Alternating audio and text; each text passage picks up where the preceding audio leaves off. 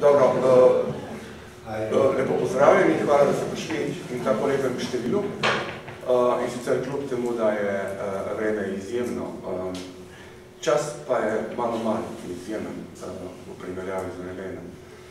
Uh, danes smo se, danes sem se, upam, da tudi vi z mano, uh, se bom napotil v neko dokaj uh, kompleksno uh, problematiko. In sicer, načeloma uh, sliši na ime uh, nedokončana druga svetovna vojna in problem post-nacizma danes. Domnevam, da vam sam naslov ne, ne pove veliko, ampak upam, da skozi eh, izvajanje eh, in se bom potrudil, koliko bi pač to moje zmožnosti dovoljujejo, da vam bo postalo zanimivo in da na koncu bo da boste razumeli, eh, kaj sem hotel povedati. Uh, namreč, uh, tisto, kar je problematično pri tej tematiki, pa to je premalo rečeno, pravzaprav tisto, kar je zelo težko. In danes bomo imeli opravka z nečim, kar jaz mislim, da je najtežje, je predvsem tisto, kar je na naši strani. Se pravi, ne toliko na strani tistega pred nami, v smislu zgodovine, dogodkov, pač pa na naši strani v smislu naše izobrazbe, tega, kar mi imamo v glavah. Tega, kar so nas naučili, da tako je. Kajti skozi to izvajanje se v nekaterih točkah bo pokazalo, da se to, kar bom govoril, radikalno izključuje s tem, kar imamo v glavah. In sicer na ta način celo tako, da marsikaj tistega, kar imamo v glavi, bo treba bodi si opustiti, ali pa to, kar bom govoril, znegirati. To drugo je lažje. In jaz vam ne bom zameril, če boste mene krivili in če boste tistega, ki vam prinaša slabe novice obsodili. Jaz to spremem, to je sestavni del mojega poklica. Se pravi, poglavitni problem, s katerim bomo imeli opravka, je to, kar imamo v glavi. V tem smislu zna boleti in zna biti uh, grdo. Uh, upam pa, da mi bo uh, uspelo vas premakniti v nekaj, kar ni običajeno v naši dobi, to pa je mišljenje. Namreč naša doba se stoji iz vednosti. Mi smo generacije, ki nam je vse jasno. Mi smo tako sprene vedave, še posebej koliko bolj smo zahodne naprave, da vse vemo in da to besedno ničesar več nismo zmožni postaviti pod vprašaj. Točno to bom jaz postavil pod vprašaj in sicer na najbolj občutljivih točkah našega sebstva. To, kar imamo v glavih, v glavah v pomenu kako smo bili šolani, kako mislimo, in ravno zato, ker smo tako bili šolani in tako mislimo, ne moremo ničesar danes razumeti. Oziroma, obravno pred tem, kar ne moremo razumeti, je to, da se sprenevedamo in da igramo vloge tistih, ki vse vemo in ki nam je vse jasno. Uh, Predavanje bo razdeljeno v petih delih, nekoliko daljši bom kot sicer. Govorimo približno dobro uro, uro četrt. In sicer približno 80%, štiri petine, bodo posvečene sami drugi svetovni vojni v pomenu. V prvem delu bom govoril nekaj o začenjanju in začetku druge svetovne vojne, v bistvu kot izhodišču, Medtem ko pa pozneje se bom lotil pozneje v smislu predvsem marca, aprila in maja leta 45, na kar bom zadevo na nek način nadaljeval v polvojno dobo in skušal pokazati, kako se razen, če gledamo na zadeve vojaško, zadeve niso bistveno spremenile. Oziroma, kako se je druga svetovna vojna prelevila v nekaj drugačnega ne v hladno vojno, kar tako, pač pa v nekaj drugačnega. Na koncu pa bom skušal povedati, kaj mislim s tem, ko rečem post nacizem. Jaz namreč mislim, da imamo danes opravka v številnih dimenzijah s post nacizmom. Se pravi, gre med drugim za vprašanje, kako pokazati, da nacizem ni bil pokončan v drugi svetovni vojni. In kakve to konsekvence ima na vsakega med nami, vključno z možnimi izidi tega, kar je danes in čemu jaz rečem, da je depresija. Nimamo mi opravka s krizo. Imamo opravka z nečim dosti, dosti bolj zahtevnim za razumevanje in po konsekvencah zelo daljnosežnim. Uh, vprašanje, odkot začeti, bom začel od tiste točke, kjer se mi zdi, da je hkrati najlažje in najtežje. To je točka tehnike. Uh, ker je o tehniki težko govoriti, se bom zamejil na zadevo tehnologije. In sicer vojaške tehnologije. Zakaj? Uh, zdi se mi, da je to zelo pomembno, ker se tukaj uh, vsaj lahko začne odpirati vprašanje tega, kako malo vemo o tem, kar je vojaška tehnologija, s katero notabene nimamo opravka samo danes, pač pa že od 30 letih 20. stoletja. Se pravi, imamo opravka z vojaškimi tehnologijami, o katerih se nam sanja ne. Ponavadi, ko razmišljamo o drugi svetovni vojni, razmišljamo v kategorijah prve svetovne vojne. To pomeni o frontah, o vojakih, o puškah in tankih in podobnih nepomembnih rečeh. Tisto, kar šteje in kar se radikalno spreminja in na čem temelji naša civilizacija, pa je zadeva tehnologije. In tehnologije. To je tisto, kar napreduje. Koliko bolj tehnologije in tehnike napredujejo, toliko manj lahko sledijo naše možnosti razumevanja tega, kar napreduje. V tem smislu toliko manj razumemo. Slika, ki jo imamo v glavah, na osnovi šolanja, je približno, kar se tehnologij tiče, takšna le. Nemci so imeli dobro vojaško organizacijo, izjemno disciplinirano vojsko, zelo učinkoviti komandni kader, ki je zmagoval na vseh frontah. Ko pa začnemo razmišljati o oborožitvah, potem se pa večji del ustavimo na tako imenovanem načrtu V1 in V2, za katere domnevamo, da sta to bila tista tajna orožja, na katerih so nacisti stavili v pomenu, da bodo zmagali v vojni. To je približno štorija, ki jo imamo. In drugič, da je jedrska bomba nekaj, kar so si američani izmislili.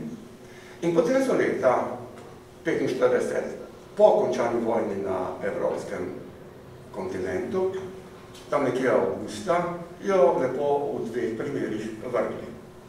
Na Hirošimo in na Nagasaki. In tu nekje se je naša štorija končala, kar se tiče poznavanja tehnologij. Notabene, kar se tiče Nemcev in nacistov torej. Tri vrste, vse izven klasične oborožitve govorim, je treba močno ločiti. Prva, za njih povsem benigna, so res V1 in V2. V tem kontekstu je treba razmišljati o njihovih načrtih, da bombardirajo London, kar so tudi naredili, ampak tudi, da bombardirajo New York. 43. leta imamo načrte Manhattna, na katerem je jasno, da se računa in da se kaže, da imajo izračune, kaj vse bi se podrlo z jedrsko bombo.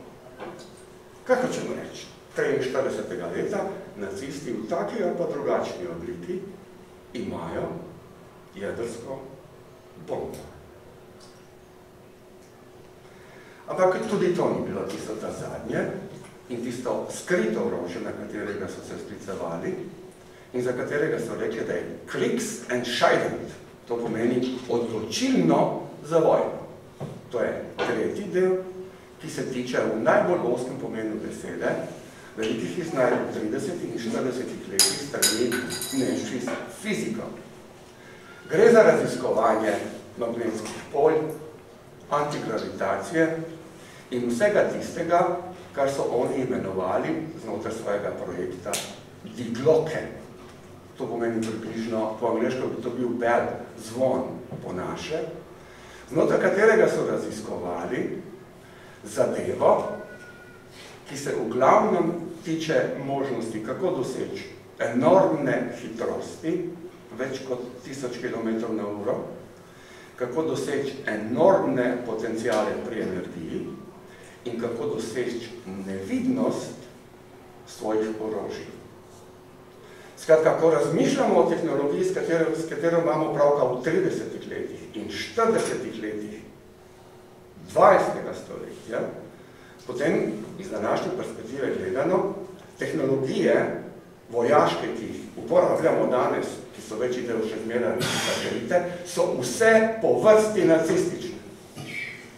Zdaj vam prav pokazati na enem primeru, kako je to moč razumeti. Namreč, ko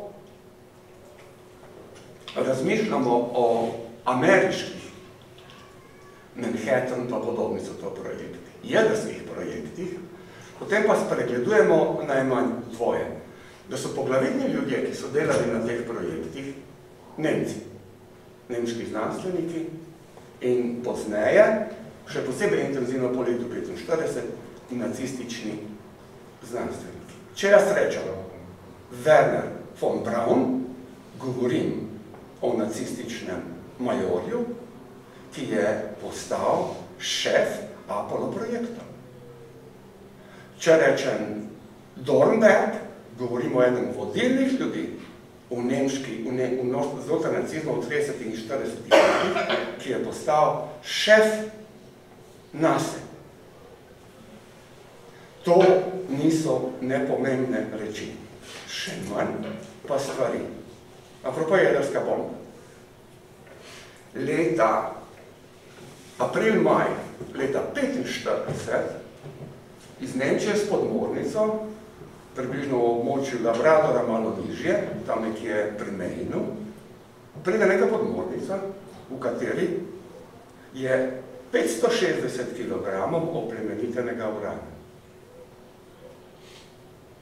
Werner Heisenberg pride v inšpekcijo, najde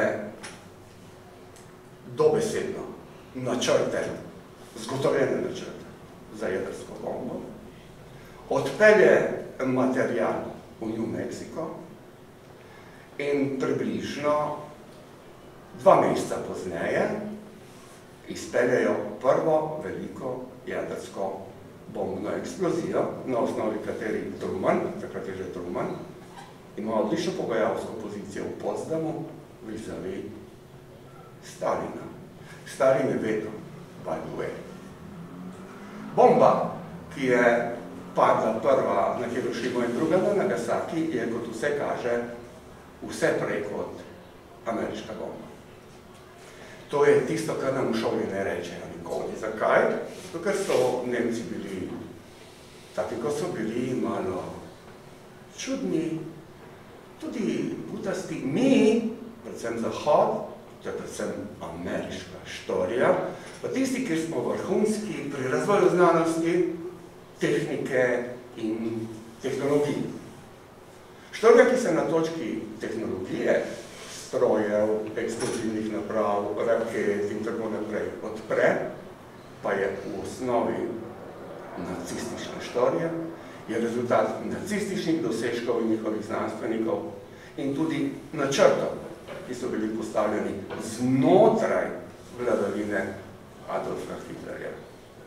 Se pravi, zelo pomembno, da vemo, da se nam poglavitni kosi zgodovine, tudi opremljive zgodovine v smislu tehnologije, zakrivajo in da so zakriti. Sicer pa, da bi razumeli, zakaj se gre, In če razmišljamo iz pozicije vojaškega, je na nek način vendarle sprejemljivo in samoumevno, da ključni to vrstni strateški in podobni podatki vendarle bodo zakriti. Vendar pa ti podatki, v primeru, da so zakriti, potem moramo imati resno, da je en veliki del naše zgodovine zakrit. Da nam je zelo malo dano v vedenje in mišljenje in da lahko zelo, zelo malo razumemo. Podobno je številnimi drugimi elementi, na katere bom danes opozoril. Spravi, ko govorimo o orožjih in oborožitvah, katerimi še danes imamo upravka, od prve do zadnje, vse so bile postavljene v 30-ih in znanstveno so otroci nacionalsocializmu. Tiste dobe in tistih znanstvenikov. Bistvenih premikov tukaj ni. Se pravi, ko danes razmišljamo in govorimo recimo o najnovejših Rušilci Združene države Amerike so splavili nosilca tri meseca nazaj, ki je neviden. To je že tehnologija, ki je vezana na uno tretje, na tisto nevidno, znotraj nacističnega, kar sem omenjal, pri projektu Digloke. Bel, zvon.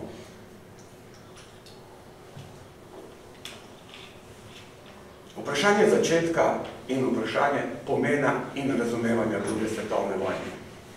Za nas, ki smo otroci partizanskih generacij, ponosni otroci partizanskih generacij, so nekatere stvari samoumevne. Vendar pa, če nas zadevo motrimo in to moramo v globalni dobi, v kateri mišljenje, angliško, predvsem pa ameriško, dominira in mlajše generacije so njeni pacijenti. Potem pa moramo upoštevati, da je današnja slika, današnje razumevanje druge svetovne vojne, predvsem zgrajeno na tem, da so Evropo osvobodili zavezniki. Pričemer zavezniki, predvsem pomeni američani, in poudarek je zmeraj na Normandiji, skratka na osvoboditvi, ki se začne bodi si s pucanjem Severne Afrike, leta 42, invaziji na Sicilijo 43 in pozaj 44 poleti od Normandije sem. To je približno štorija, kako funkcionira. Tisto, kar bi zelo močno rad tukaj povdaril. Druga svetovna vojna se je bojevala na vzhodni fronti. Tam je padlo 26, to so najbolj radikalno konzervativne ocene milijonov Rusov in o zmagi ali pa porazu v drugi svetovni vojni se povsem jasno vedelo na prehodu iz leta 42 v leto 43. Na točki Kurska, Stalingrada, je bilo jasno tudi tam najbolj zabitim Nemcem, kaj šele ne drugim, da je vojna, kar se Nemčije, Italije, konsekventno japonske tiče izgubljena. Skratka, govoriti o tem, da je bila vojna zmagana leta 44 ali pa 45, da so to zavezniki, ki so prihajali iz Zahoda, pripeljali do te zmage, je elementarna reinterpretacija in laž, ki ne upošteva, da se je poglavitna bitka bojevala na področju nekdanje Slovenske zveze, in da je jasno bilo, da so izidi jasni bili v smislu, a je konc vojne, v smislu, kdo bo zmagal, že zgodaj leta, tako rekoč pozna zima, leta 43. Na točki Stalingrada je samo vprašanje ostalo še, koliko časa, to pa pomeni žrtev, milijonov mrtvih in tako naprej, bo potrebnih, da rdeča armada pride bodi si do, ne vem, Breslava, do, do, do, do Berlina, do Kölna. Nekateri so se bali, da do Pariza. Skratka, zelo pomemben je ta poudarek. Drugi poudarek v zvezi z vzhodno fronto je pa ta. Po odpiranju arhivov, po letu 1989, po Jelcinu, po Gorbačovu, in to so To, kar vam jaz govorim, je v bistvu temelji na novih arhivih, ki so na, na novo odprtih arhivi, ki so odprti, odprti v zadnjih 25 letih, na katerem so v glavnem delali Poljaki, Američani, uh, izstop, izstopa, izstopajo tri imene, jaz si bom omenil, za tiste morda, ki boste študirali, en je Igor Vitkovski, eden je Peter Levenda in eden je Joseph P. Farron. To so ljudje, ki si izdali skupaj, če bi vzel približno 15 ključnih knjig, ki jih je danes treba študirati. Žal so vse pač napisane bolj ali manj v angliščini.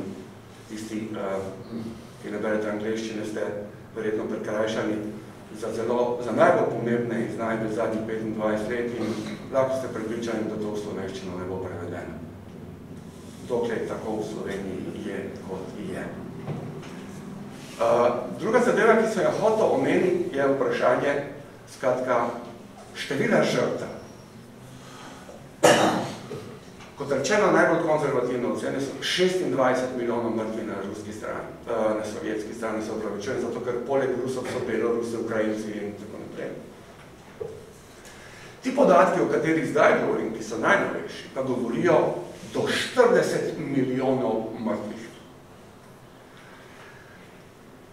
Za pogoje druge svetovne vojne V primeru, da upoštevamo elementarne tankom, tankovske, artilerijske, pešadijske in ne vem kakve bitke, je to nelogično število. Skratka, enormne količine mrtvih, ki jih ni moč interpretirati in razumeti v kontekstu tega, kar mi imamo v glavi, kako so nas učili, kot je klasično vojskovanje. Rad bi vam sugeriral in opozoril vas na nekaj zelo resnega tukaj. Znotraj druge svetovne vojne je že bilo uporabljeno jedrsko orožje. Vse kaže, da na večjih mestih, na enem pa zagotovo, in sicer v ofenzivi ima nekoliko pozneje, v ofenzivi na Krimu, okrog Sevastopola. Nemci so že obvladali tehnologijo, s pomočjo kateri so lahko izstreljevali, mi bi temu danes rekli verjetno z uranom oplemenitene izstrelke. Nemci so namreč pred raketno dobo, se pravi, ko rečeš raketa, misliš to, ko rečeš artilerija, misliš to, poenostavim, že v prvi svetovni vojni obvladali daleko streljne izstrelke, iz naprave, ki so imenovali une dni Debela Berta. Po Versajski pogodbi je to bilo, tako kot mas nekaj drugega, prepovedano. Iz Debele Berte, kljub temu seveda, da je bila zadeva prepovedana, v drugi svetovni imamo zadevo, ki se je reče Gustav. Gustav je ta naprava, iz katere je bilo moč izstreljevati. Približno pravijo z dokaj precizno oceno, med 25 in 35 km izstrelke, ki so bili že jedrsko oplemeniteni. Se pravi, kaj vam hočem reči? Tistih bodi si 26, ali pa 40, ali pa katerokoli število vmes, milijonov, ne govorimo o tisočih mrtvih, milijonov, se ne da pojasniti mimo tega, da odpremo vprašanje, ki se glasi, že vprašanje jedrske oborožitve znotraj druge svetovne vojne, notabene, izključno na vzhodni fronti. Zakaj tako močno poudarjam vzhodno fronto? Zdaj pa gremo naslednji korak, bom skušal odpirati vprašanje nacizma v ožem pomenu besede. Nacizma se ne da razumeti kot država ne da se ga razumeti kot stranko, ne da se ga razumeti kot gibanje. Tisto, kar moramo skušati vsaj upoštevati, je to, da je nacizem v svojem jedru okultna zadeva. Ko rečemo okultna, tukaj gre zadeva svastnike. To pomeni nekaj takega, kar je dobesedno, hkrati postmodernega novega in ultra starega. In kar je še najbližje religiji, ne morete religije premagati stopovi okulta in kultov še manj. vsak poskus govorjenja o tem, da je nacizem iztrebljen, da je država propadla, da je stranka pogorela in tak naprej, je streljanje v prazno. Probate se spomni, kdo je podpisoval kapitulacijo. Kapitulacijo so podpisovali različni rodovi vojske. Mornarica, Luftwaffe, Pešadija in tak naprej. Kdo je pa v imenu nacistov podpisal? Nacisti niso kapitulirali. Zato, ker so jim, ker jim je že leta začetku 43 bilo jasno, da njihov okultni projekt ne gre skozi, so se lotili B plana. Ta B plan bom skušal razložiti. Okult nacistov temelji v zadevi zemlje in krvi ali je rasističen. Višja germanska rasa ima kvalitativno različen odnos do ljudi, do podljudi in do nadljudi. Ko hočemo razumeti to, kar nacisti imajo v glavi, potem pa vse, kar je na vzhodni fronti, vse, kar je na južni fronti, to pomeni tudi naši partizani, to spada med pod ljudi. Če v Kragovcu enega fentajo, sto jih bodo ustrelili. Če v Parizu enega vojaka ubijo, deset jih bodo ubili. Skratka, jedrska oborožitev oplemeniteno orožje, ki je bilo izstrelki, ki je bilo uporabljeno na vzhodni fronti, niti slučajno ne bo uporabljeno na zahodni fronti. Še najmanj pa takrat, ko je bilo jasno, da je vojna izgubljena in ko je bilo treba štartati z nečim takim, kot je Bible. Ta B-plan, pa pomeni približno nekaj takega. Zdaj nam ni uspelo. Zdaj gremo na teževne položaje, bežimo se, razkropimo in delamo na druge načine. Ali pa rečeno po partizansko, gremo v ilegalo. Zdaj bomo probal opisati, kako je to potekalo na nekaterih točkah, ki so danes bolj ali manj jasne. Postajajo jasne, v letih, ki prihajajo, pa bodo še bolj jasne.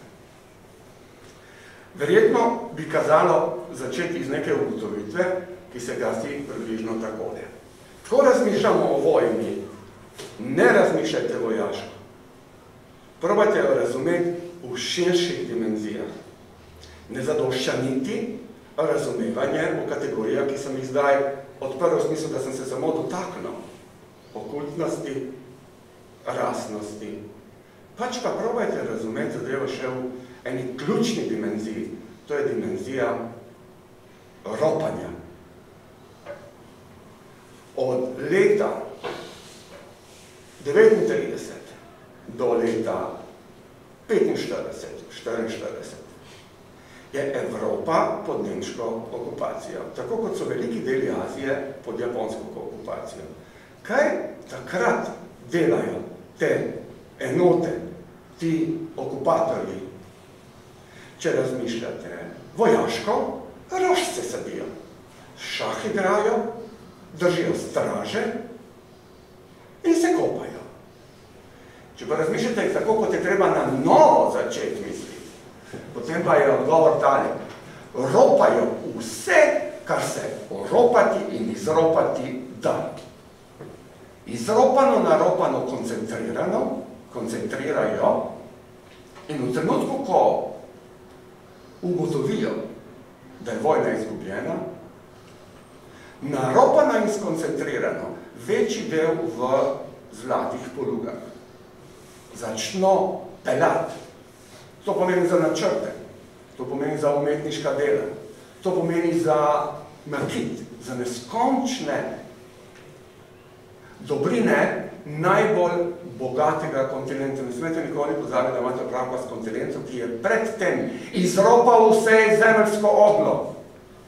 Spravi, ko pride nekdo, gre za monopoli igro, na nizozemsko, v Avstrijo, v Francijo, niso prišli v Britanijo. To pomeni, da bo izropal vse tisto, kar so bili oni izropali prej. Če je Kongo izropal bil izropan strani Belgije, potem belgijski okupator, v tem primeru, v tem primeru nacisti, bodo izropali tisto, kar je tudi v Kongu bilo izropano. Razumete, kaj vam govorim? Enormne količine bogatstva. Recimo, da to v nadaljevanju bom imenoval kapital.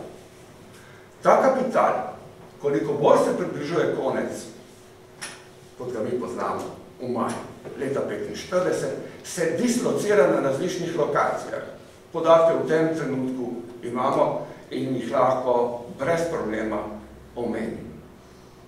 Makao, Šanghaj, Formoza, Indonezija, Južna Afrika, nad vse Južna Amerika in tisto, kar je bilo, ne vem kako nevarno, Španijo in na Portugalskem. Ne pozabite nikoli tega podatka. Ko nam pravljice pripovedujejo, kako je bil fašizem, kako je nacizem zmagan, premagan, uničen, izničen in tako naprej leta 45, nikoli ne smete pozabiti in se morate zmoč spraševati vprašanje, ki se glasi tako. Kako pa to, da je Franko še leta 76 živ? Kako to, da na portugalskem šele 77 se zadeva spremeni.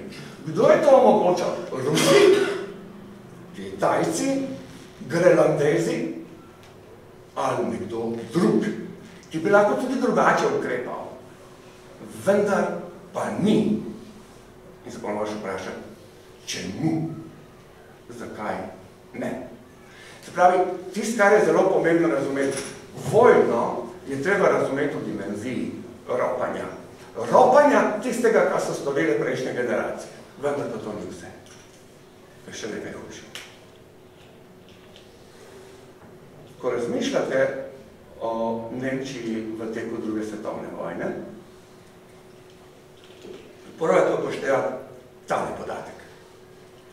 Da je poprečno število jetnikov, ki so bili v različnih oblikah koncentracijskih taborišč, poprečno, bilo 14 milijonov. Skratka, v vsakem trenutku v teku druge svetovne vojne, seveda je pol upadalo, je bilo na voljo 14 milijonov sužen in sužnjev, ki so bile uporabljene dobesedno za vse, od spolnih uslug do rudarskih opravil od dela na kmetijah do poskusnih zajcev pri Mengeleju ali pa pri kakem drugem velikem raziskovalcu, ki nota bene, bo postal še večji raziskovalec v Združenih državah Amerike po letu 45. Se pravi, ko razmišljamo o nacizmu, je treba vedeti, da je nacistom jasno leta 43, da se projekt ni odnesel. Drugič, da koncentrirajo izropano in da dis locirajo izven Evrope, ne z namenom, da ostanejo izven Evrope, pač pa da se once upon a time vrnejo. Zdaj pa probajte tole slišati. Kako vam razlagajo to, kar se je zgodilo po drugi svetovni vojni, kajti leta 45 je bila Nemčija zravnana z zemljo? Kako to, da se je naenkrat pobrala. Kako to je prišlo do nemškega čudeža? Z mašalovim planom, s tromanovimi jajci. Ne, ne, ne, ne. Kapital, ki vam ga tukaj omenjam, se je začel že takrat vračati. Koliko ni bil že shranjen na mestih, ki so bila uporabljena. Približno lahko upoštevate še naslednjo dimenzijo. Po podobni logiki je funkcionirala zadeva v Aziji. Tudi, no tabene, Japonska je čudežno vzniknila po drugi svetovni vojni. Na podoben način je bila Manžurija, je bila Indokina, je bila in tako naprej izropano in zadeva se je tako ali drugače vračala z eno bistveno razliko. En večji del ocenjuje se, da približno polovica naropanega v japonskem primeru je bila skravljena na Filipinih. Mislijo se seveda, jo prešaltati in vrniti nazaj na Japonsko, vendar se pa je izkazalo še posebej po Hirošimi in Nagasaki okupaciji, tisem, kar je MacArthur tam delal. MacArthur je glavni poveljnik ameriške mornarice v tistem delu sveta in poznaje postane gubernator, tudi tisti, ki je a, promoviral, promoviral japonsko ustavo in tako naprej. So Japonci ugotovili, da to ne bo šlo in so zadevo zakopali, bogatstvo, zlato in tako naprej, na Filipinih. To bogatstvo najdejo američani. In to gre direktno Truman. In Truman se v tajnem odloku 46 let je to odloči, da to najdeno bo dal tajnim službam, ki naj krmilijo ta kapital. Ko rečem tajne službe, v tem trenutku 46, to pomeni OSS. 47 se OSS bo preimenovana v CIA. Kaj hočem reči? In kaj je s to odločitvijo Trumana bilo narejeno? Direktno v finančne posle je postavljena kot notranji sestavni del svetovnih finančnih poslov CIA. Podobno kot za ta japonski del, velja za nekatere dele, ki so jih uspeli najti za nacistično bogatstvo. Skratka, ko razmišljamo o kategorijah ekonomije, ko hočemo razumeti povojni bum, veliki razvoj in tako naprej, morate razumeti približno tole, da obstaja nekaj vidnega, recimo, da to bom imenoval javne filjance. Obstajajo tajni fondi in obstajajo tajno-tajni fondi, o katerih se zdaj govorim. Ko mi razmišljamo in skušamo razumeti svetovno gospodarstvo, svetovno ekonomijo in tako naprej, potem upoštevamo lahko, ker je samo to javno, to so javni podatki, ekonomisti lahko samo analizirajo ta del, ta delček, tisto, kar je spodaj, pa ne obstaja. To je črni trg. Ko mi danes rečemo deep states, deep societies, secret societies, false flag ali pa covert operations, zmeraj gre za to, kar je spodaj. In iz tega se zadeva financira, nota bene, se tudi investira. In to je hkrati sestavni del splošnega celokupnega kapitala, s katerim Zahod tako je drugače operira. Skratka, zelo pomembno je, da razumemo ta poudarek, jaz mislim, da bil upam, zelo jasen. Gre za epohalno ropanje. Nikoli v zgodovini človeštva ni bilo tako velikega ropanja kot v teku druge svetovne vojne. Probajte upoštevati to dimenzijo. Tretji del. Tretji del bo slišal na ime Red Lines. Uh, se bi reče temu pacovski kanali, mi pa bomo temu rekli podganju poti. Jaz upam, da ste slišali, da obstaja nekaj takega. To so kanali, po katerih so nacisti že od zgodnega leta 45 do globoko v 60. leta 20. stoletja bežali iz Nemčije, iz okupacijskih zon in tako naprej. Približno gre za tole. Ker so naredili tisto, kar so naredili na področju nekdanje Sovjetske zveze, so prekleto jasno in je bilo, kaj se bo zgodilo, ko rdeča armada pride. Ergo, bezalo se je predvsem pred Rusi. Toda, koliko bolj se je bežalo pred Rusi, toliko bolj se je puščalo na zahodnih frontah, na severu je šel Montgomery, na sredi je šel Patton in na jugu so v glavnem bili francozi. Vse skupaj, kar pa krmilo, Eisenhower. In koliko bolj so se Nemci povlačili in vlekli nazaj iz vzhoda in iz severa proti jugu, so toliko bolj bili skoncentrirani nekje na področju Češko-Slovaške, najbolj južnih delov Poljske in pa nad vse na koncu, ko, je, ko se je ta mreža nekako stisnila, v glavnem so bili osredotočeni okrog Salzburga. Na tisti točki in še prej nastopijo posebne organizacije in operacije, kjer je prišlo do zelo, zelo oskega sodelovanja, predvsem med nasističnimi organizacijami, to so bili organizirani pobegi, to ni bilo slučajnosti.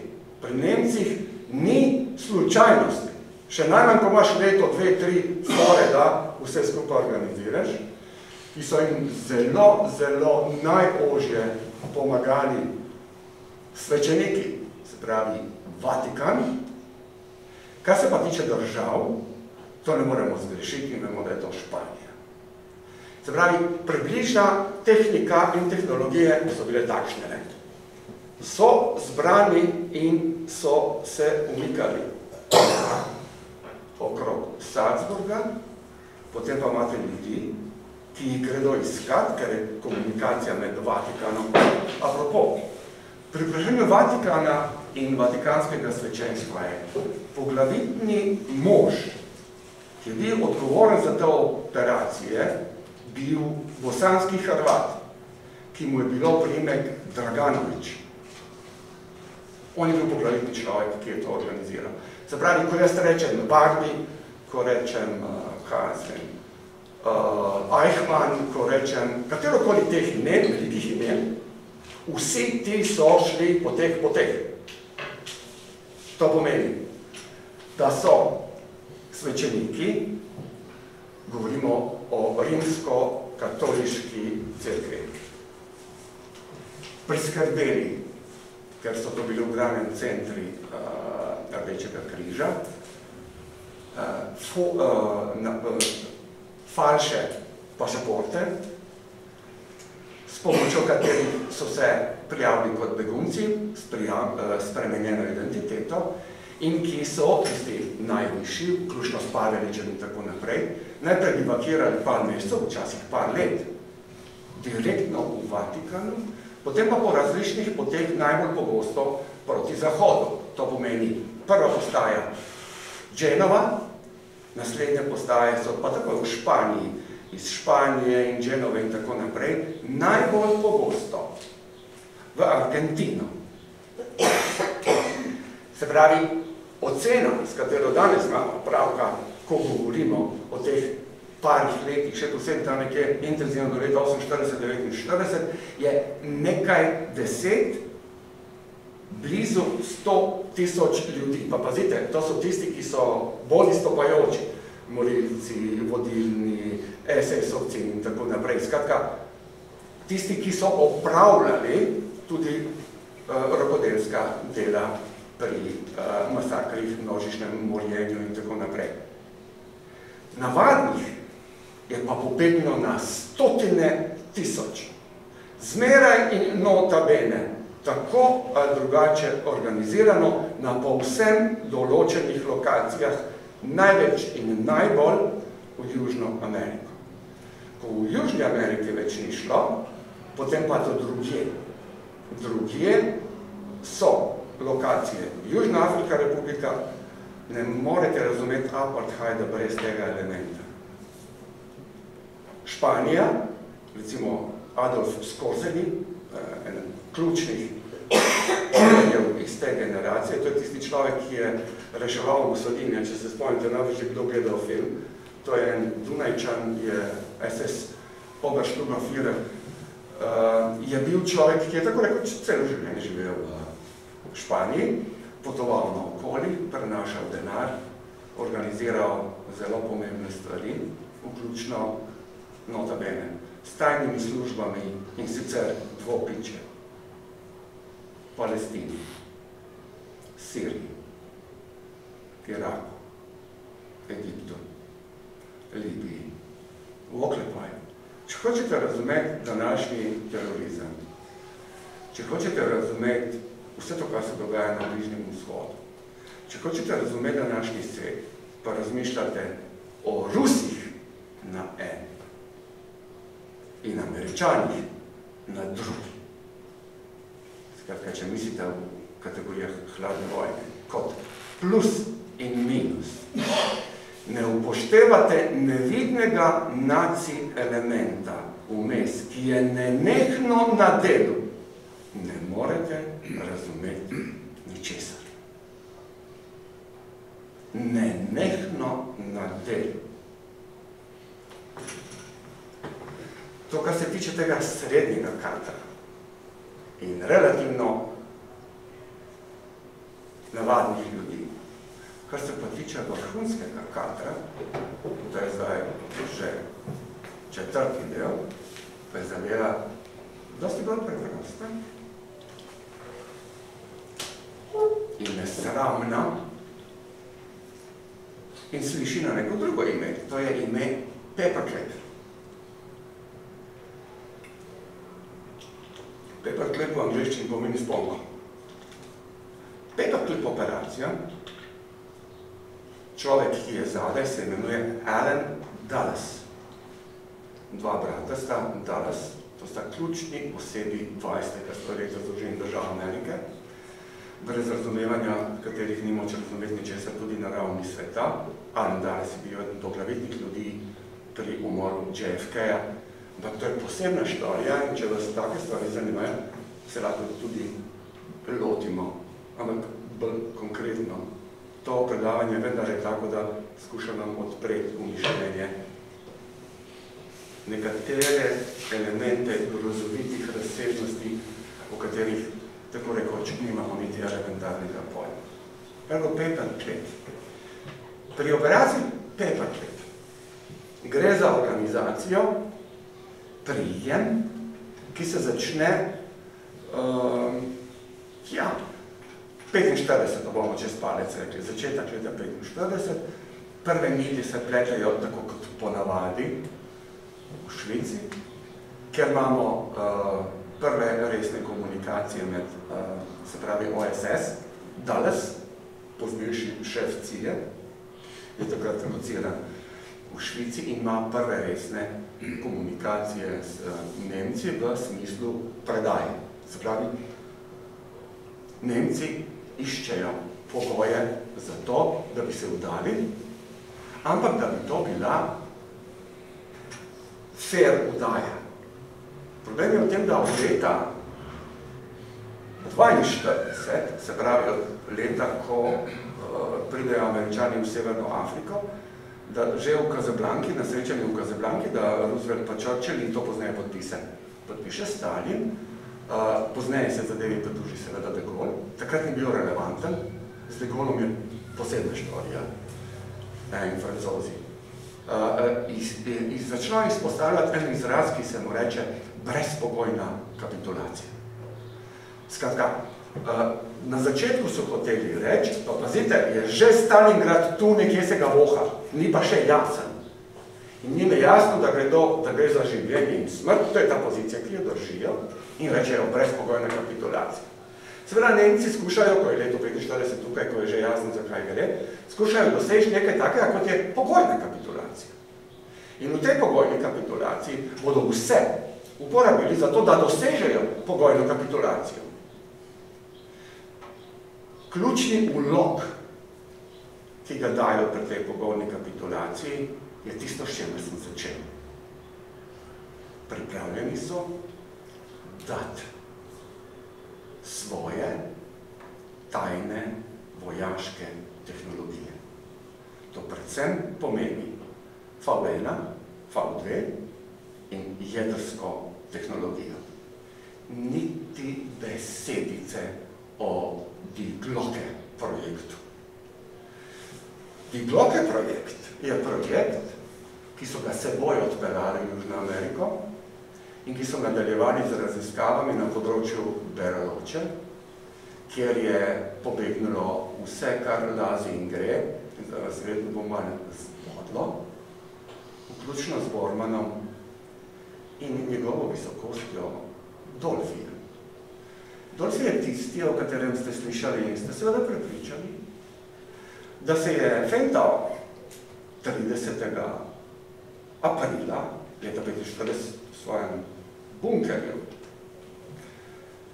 in v to štorijo verjamemo od avgusta, septembra leta 45 na osnovi ki se, knjige, ki se imenuje The Last Days of Adolf Hitler, nota bene, ki jo je napisal nek specialist za srednjeveške raziskave, imenoval se Hugh Trevor Roper, ki je napisal po komandi, ker je bil zaposlen pri MI5 in ki mu je bilo rečeno, tri mesece imaš, tu imaš fonde, odidi v Nemčijo in napiši knjigo o zadnjih dnevih Adolfa Hitlera. A on je rekel, yes sir, odšel je, napisal knjigo, ta knjiga je bila jeseni predstavljena in od takrat naprej, seveda so jo pol mediji raztrosili in mi ovce, pacijenti, to poslušamo vse do danes. Da pa bi Stalin verjel v to, da bi Roosevelt verjel v to, Churchill absolutno, saj je on dal komando, da ta knjiga bo napisana, da bi Hoover verjel v to, nišče ni verjel da Tito ne bi vedel, zakaj se gre. Daleč od tega. Eden verjetno največjih dosežkov Obame kot predsednika je, da je odprl tajne fale FBI-ja na relaciji in ki se nanašajo tudi na Hitlerja od leta 46 naprej. V tajnih fali, ki so danes dostopni, imamo nenehno spremljanje informacij o tem, kje je Hitler kaj počne, kdo je z njim, kje je viden, kakve so možnosti in tako naprej. Pa se pa vprašaš, a je res bilo treba od leta 46 pa do leta 2016 ali pa 15 potrebno, da se nam to špere? Skratka, kakorkoli že, tisti digloke projekt, en, tisti kliks entscheiden, tisti za vojn odločilni projekt, niso dobili ne američani, ne angleži, nišče, pač pa so ga nacisti seboj odpeljali in na njemu so nadaljevali z eksperimenti. Ko vas od leta 47, od zadeve, ki se reče Rosewood, začno strašiti zadevo ufotov, neidentificiranih letečih objektov, vedite, da je zelo možno, da imamo pravka ne z izvenzemalci, pač pa zamočanimi podzemalci, ki so kot vse kaže, bili zmožni razviti tovrstno tehnologijo, ki je bila primitivna leta 47, ampak danes več ni nobenega doma, da niti slučajno ni primitivna in da je sestavni del arzenala številnih svetovnih držav. V primeru, da prije do vojne, to bo praženje, ki bo zelo kratko in ne bo zelo boleče. Paperclip. In poleg tega, se pravi, ko so se pogajali z američani, predvsem, so v tej igri, ker, a veste, veste kak je to, če ti daš nekomu recimo načrte, pa uran, pa ne vem kaj, in če mu hkrati nisi dal ljudi, nisi mu dal nič. Kaj hočem reči? Nemci, nacisti vodijo to zadevo, Nemčije je po letu 33, nišče drug kot nacisti ni vodo in predvsem ključno vlogo pri tem igrajo seveda SS-ovci. Eh, poglavitni človek pri SS-ovcih je vrhovni kultni poglavar, imenoval se Himmler. Ni bil Hitler toliko kultno uh, usmerjen kot pa Hitler, kot pa Hess in še nekateri drugi. Ampak to je spet neka druga posebna štorija.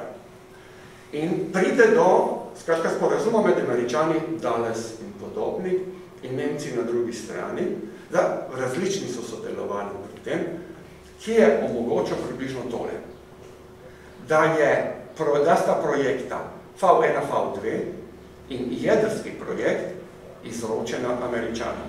Plus, vsi, ki so se ukvarjali s V1, V2 in jedrsko energijo. To je bolj ekipa snova, ki bo odpeljala človeka na luno. To je tista ekipa, ki bo proizvedla in zbombardirala, omogočila bombardiranje Hirošime in Nagasakija.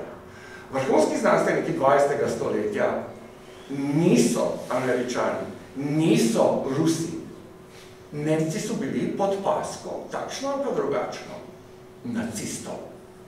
Ko greš pogledati, kdo, kako, koliko je nacističnih znanstvenikov in inženirjev bilo pripeljanih v Združen držav Amerike, potem ne govorimo o 10, 15, 20, 30, nekaj stoj, nekaj tisoč vrhunskih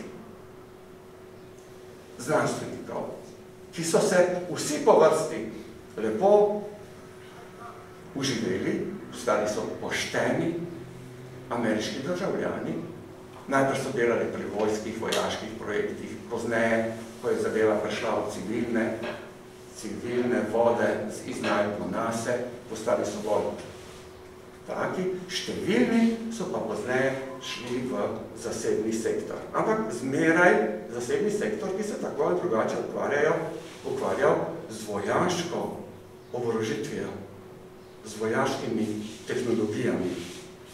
Se pravi, kaj hočem zdaj tukaj poudariti? To, da leto 45 pomeni radikalno spremembo stališča znotraj zaveznikov razen Sovjetske zveze.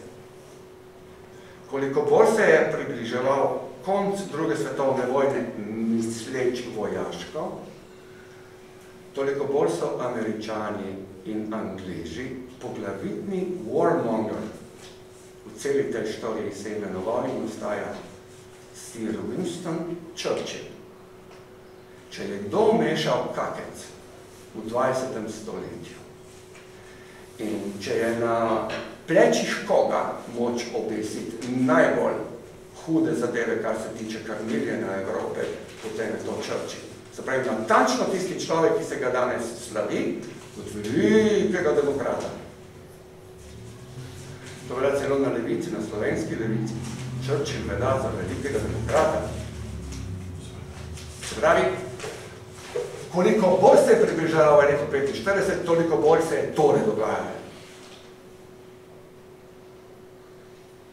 Da so Rusi postali edini in največji sovražniki, ker so bili komunisti. Da so pa nacisti postali odlični zavezniki, ki so toliko bolj odlični, koliko večji antikomunisti so. Kaj hočem reči? Na tej točki začne prihajati do fuzije med zahodnimi zavezniki in nacisti.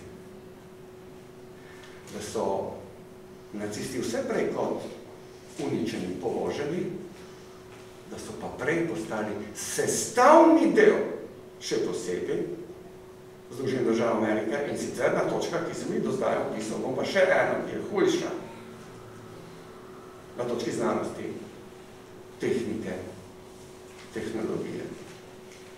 Zdaj pa še ena hujša. Leta 45, OSS, ameriške tajne službe, vojaške tajne službe, nimajo tako rekoč, ama baš nikakršnih podatkov o Rusiji.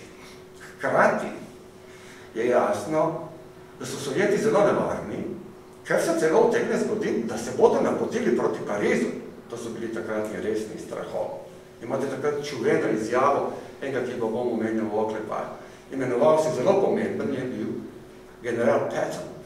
On je rekel, uh, to je, to je april leta 45, je rekel, dajte mi te ujete nemške vojske, dajte mi tanke in jaz grem do Moskve. To je Patonova pozicija, da.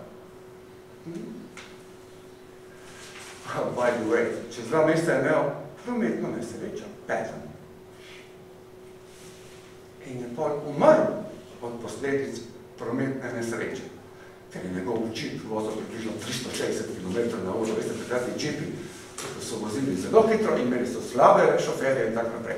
Skratka, petana so se znebili. Tako kot drugega komandanta ameriškega, ki je umrl leta 46 v Ameriki, ki je vodil tretjo armado spode, ki je šla proti Češki.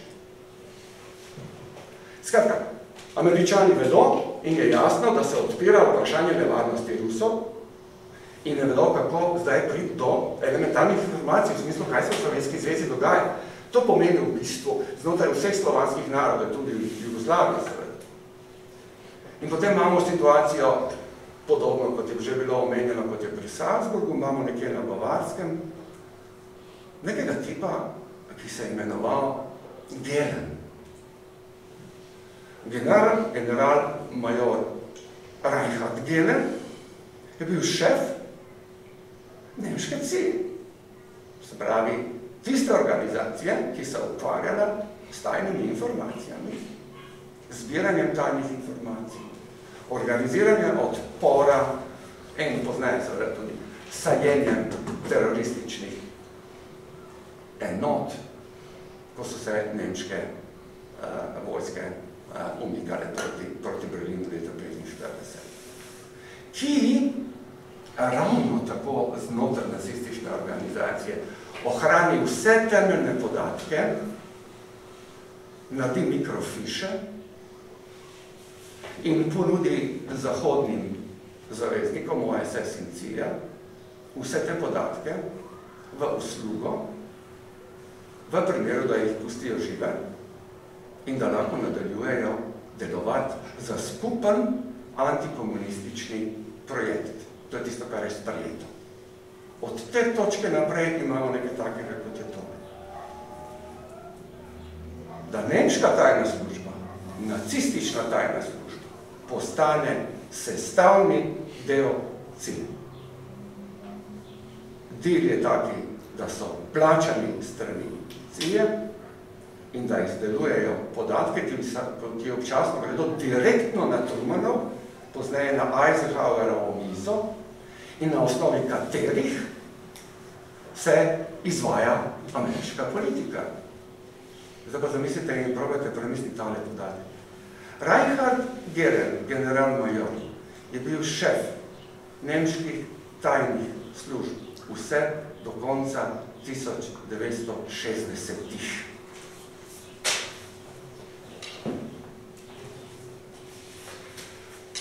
Sam da čitiram, koliko manj časa, koliko sem govoril. V tem smislu um, lahko potegnem črto in mislim, da je bilo dovolj materijala, seveda upanje, da bomo šli še v kakšen detalj, uh, je moče reči približno to.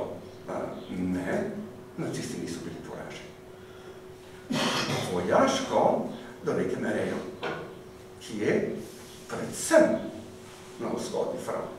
Sicer pa so ušli iz mreže razkropili so se na različne konce sveta in vzpostavili nekaj, kar v današnjih pogojih uh, raziskovalci govorijo kot ex-territorial state. Spravi, približno nekaj takega, kot je država brez teritorija in so oblikovali zelo resne paradržavne, včasih govorimo o stotinah tisočih hektarih, celo recimo na področju Južne Amerike, na različnih lokacijah, enote, še več pa podjetij, skozi katera so naprej poslovali in izvajali pač tisto, kar je za njih njihov temeljni, okultni, rasni projekt. Recimo, gledajte tale podatek. Poglavitni menedžer Tretjega rajha je bil Martin Bormann. Martin Bormann je ključni človek, ki je organiziral umik po tem, ko je bilo jasno 43. leta, da se je plan sfižal. On je človek, ki vodi posle v Južni Ameriki in celi Južni Ameriki in ki celo imamo, obstaja danes ček v vrednosti 2,2 milijona dolarjev, ki ga je podpisal s podpisom Martin Bormann. To je bila zadeva v 50-ih letih. Skratka, do ene mere lahko govorimo o tem, da je zadeva bila zakrita, ampak za vse tajne službe. Za vse tajne službe je to nekaj takega, kar je bilo dobro jutro in samoumevno. Gre, gre samo za vprašanje, kako so se med sebojno informirali, branili, kako so in koliko so se recimo nacisti v Južni Ameriki bali uh, Mossada, še posebej po tisti, tistem dogodku konc 50-ih, 60-ih v zvezi z Eichmannom in tako naprej. Skratka, kar se tiče tega dela je bolj ali manj jasno. Zdaj pa tega nacističnega loži pomeni besede. Zdaj, kar se tiče postnacizma. Uh, recimo, če hočete, se pravi, ena zadeva je nacizem, druga je neonacizem, tretja postnacizem. Zdaj bom govoril o tem, o postnacističnem, ki je vezano osko s poslovnostjo. Samo beseda pri razumevanju neonacistične. Neonacizem je zadeva tako imenovanih gladio operacij. To so stay behind operacije, za katere velja približno tole. Da je predvsem Gelen in Skorzeni so to vodila, v vsakem okolju so bile implantirane enote, denar in oborožitev za morebitno teroristično dejavanje. Se pravi, ko razmišljate o dogodkih v 70-ih letih v Bologni, ko razmišljate o različnih terorističnih napadih v, na Polskem, po, po, v Ukrajini, v Jugoslaviji in tako naprej, to so vse state behind operacije, ki so obdobje neonacističnega delovanja. Zmeraj so znotraj tako ali drugače angažirani nacisti. Vse diverzanske in antiteroristične kontrašpijonske organizacije so dobesedno šolane v neki vasi na Bavarskem, ki se imenuje Oberammergau. In tam je poučeval Škorzeni, tam so bili prisotni ljudje, kot so Kissinger in tako naprej. Vse je dobesedno, kar se tiče različnih internacionalnih tajno-služnih organizacij in poznejših voditeljev, šolano tam. Tam imate na leto proizvedeno 100 novih elitnih voditeljev. Po metodah, ki so direktno SS-ovske, ki vam jih lahko zarišem, kako so šle. Zdaj, to je ta zadeva, kot to so 50, 60, 70, o katerih jaz govorim v kategorijah neonacizma.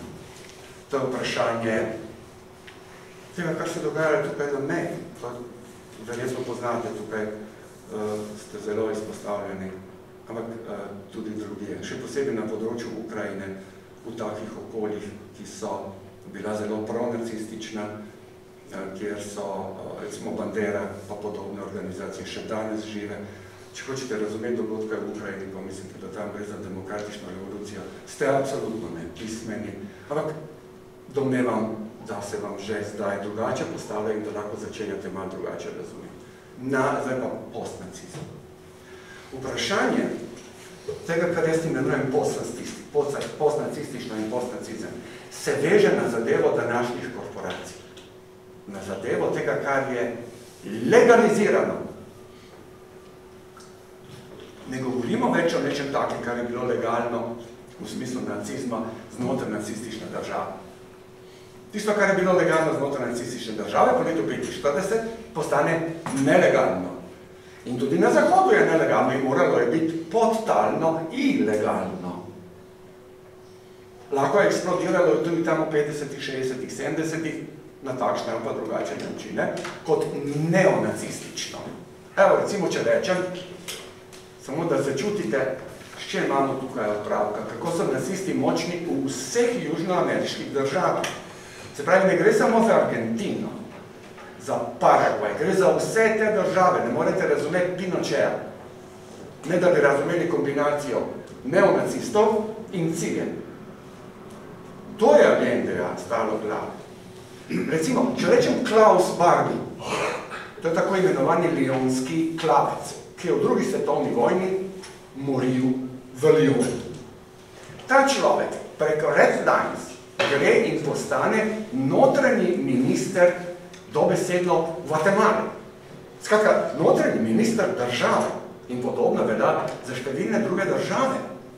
Se pravi, razumevanje Južne Amerike brez elementa nacistov v obdobju vse tja do, do 90-ih. Ni možno. Ko pa reče in ko začenjam govoriti o postnacističnem, potem bi vas pa rado pozoril, da iz njihove pozicije gledano se je zgodilo dvoje. Prvič, generacija nacistov v smislu dobesedno ljudi se je postarala. So bodi se pomrli, bodi se umaknili, obupali in tako naprej. Prišle so nove generacije in drugič ugotovile so, da starimi metodami več ne gre. Da se treba drugače zadeve lotiti.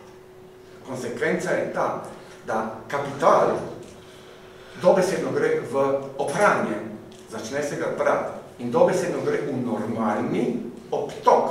Pa bodi se, da je to kazino obtok, bodi se, da je to kakva investicija v kakvo tovarno in tako naprej. Skratka, ta kapital, te organizacije, dediči te organizacije, postanejo sestavni del normalnega, običajnega reda. Ti ljudje postanejo vrhunski menedžeri. Ti ljudje oblikujejo nova podjetja in imajo svoje normalne poklice. Skratka, na nobenem ne piše več in ne nosi uniforme, to je tista krasna uniforma po jezuitskim barvah in oblikovana je bila dizajnersko strani Huga Wolfa. Veš, pa tudi niste vedeli. Ja, Huga Wolfa, ja, ja. Se pravi, gre za vprašanje, ki se glasi tako, Cajti so se spremenili. Korporacije, korporativno je tisto, kar je zmagalo. Let's make money. Šli so se delati biznisa in danes imamo opravka na vse in predvsem s to dimenzijo. No, to je tisto, kjer je najbolj ostalo vendarle zadeva nacističnega vid, eh, eh, vidna, je to, kar danes sliši v veliki meri na ime islamski terorizem. To, kar se dogaja v islamskem svetu, je zelo osko povezano tistimi, ki so jih trenirali, v smislu, ki so trenirali in vzpostavljali v dobi dekolonizacije nove tajne službe. Recimo, prišlo je do dekolonizacijskih spopadov in zmagal je Nasser. Kaj je Nasser naredil? Jasno. Iskal je pomoč, kdo mu bo pomagal, na koga se je obrnil. Takrat so to bile Združene države Amerike. Kaj, kaj so mu rekli, kaj je recimo mu dali? Se rekel, škod mi ti bo pomagal. In prišel je on. In zadevo je krnilo omenjeni tisti, ki smo rekli, da je šef v Nemčiji. Razumete, kako gre? Podobno se zgodi v Libiji, podobno se zgodi v Siriji. In od takrat imamo dolgo, dolgo, dolgo tradicijo, da so številni nacisti iz tega obdobja ostali v tem delu sveta. Številni so v Južni Afriki in veste, kako so sodelovali z gurskim režimom, vse dokler Mandela ni prišel. Dalo bi se še govoriti, recimo dalo bi se govoriti o relativno tajnih programih oborožitve današnje Nemčije, ki je vsa šla v sodelovanju z Južno Afriko in Izraelom. Vi veste verjetno, da Nemčija naj ne bi po drugi svetovni vojni imela resne oborožitve. Pa veste, kdo je dal Izraelcem eh, tri podmornice, ki lahko nosijo tudi nuklearne konice? Ja, ja. Skratka, in s tem sklenem. Uh, moja naloga in namen je bil spregovoriti o nečem, kar je neobičajno, kar je za naše generacije tudi mojo, stališča mojega izobraževanja in informacij, ki sem jih bil deležen na fakulteti, nezaslišano. Nekaj, kar popolnoma lomi temeljne predstave o svetu, v katerem smo, živimo in o možnosti, ki so pred nami v smislu alternativ. Brez teh informacij pa Jaz mislim, da so to minimalne informacije, da to samo en košček v strašnih umazanijah, ki so še kako skrite pred našimi očmi. Da brez tega upoštevanja v smislu začenjanja misliti drugače, misliti na novo, sam raziskovati, ne bo šlo. Tako kompleksnih pojavov, kot je v tem trenutku razpadanje Evrope, Trump v Združenih državah Amerike, tega ne bo moč razumeti. Koliko bolj se zadeve zapletajo, koliko bolj postajajo strhljive, toliko bolj vidite po televiziji pol pismene politike, ki nas vodijo direktno v klavnice ali pa nas totalno utalijo, zato ker so sami mutasti in ki ne poznajo elementarni zgodovine. Se pravi, kaj sem hotel vam reči? Rekel, hotel sem reči nekaj zelo pretrastega. Počakajte, tukaj je še nekaj debelega, kar zadaj poteka. Tukaj je še nekaj debelega, kar je spodaj. Tukaj je nekaj, kar so nam striktno, sistematično, namenoma, načrtno zamovčevali. Tukaj nekaj, kar ni realno pričakovati, da bo samo izplavalo na površje, ampak je lahko samo rezultat našega lastnega raziskovanja. Skratka, hotel sem vam reči, evo, imamo dosti, dosti, dosti bolj resno situacijo, situacijo, kot se nam zdi, da trenutno je, ali drugače. Se pravi, tudi brez tega, kar ste danes slišali. Sem prepričan, da imate že itak prek glave skrbi in različnih neštetih pravzaprav, strahov. Jaz sem vam pa še nalodal in še dodal še hujše breme. Ampak moj namen ni bil, da bi vas ustrahoval. Moj namen, bi, moj namen bil je, predvsem v tem, da bi vas morda, morda, morda, ampak sem zelo pesimistično napravil, zbudil. Če mene občutek ne vara, potem pa imamo opravka s časom, v katerem živimo, ki je silno izmojstril tehnike pomirjeval in uspavalnih tabletk. Naša poročila, naši cajtungi, naš način življenja so ena sama pomirjevala. Se pravi, moj namen, to, kar bi rad dosegel, je približno to, da bi vas, tako kot zmeraj, ko govorim, premaknil v mišljenje. Se pravi, da bi vas pregnal proč iz varljivega občutka, da veste, da vemo. Na svojem primeru, pa sem človek, ki se prav s tem celo življenje ukvarjam, vam, pomem, vam povem, da je to nekaj, kar te zmrazi, ko začneš študirati in brati. Ampak mene ni paralizirano. Mene je aktivirano. Upam, da bo podobno se zgodilo tudi z vami. Evo, to je bil moj, moj cilj in na tej točki uh, bi rad sklenil in potem se lahko začnemo uh, pogovarjati. Bil bi zelo vesel vaših kritik. um, at fine.